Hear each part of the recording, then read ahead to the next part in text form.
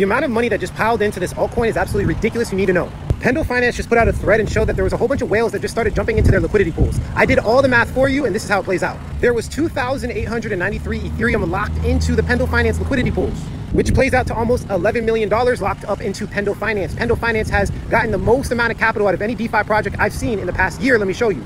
Pendle Finance almost has $3 billion locked in liquidity. This does not make sense. This is a DeFi protocol. It's not supposed to be that much money. Let me show you. Solana, like the most hyped layer one in all of crypto, has $4.7 billion.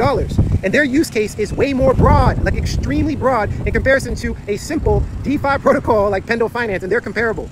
This is exactly what you look for. A project that has not had a bull cycle yet, that's Pendle Finance, that has an absurd amount of liquidity locked into the protocol that shows that there's legitimacy behind it. And there's a lot of potential energy, potential money in the protocol.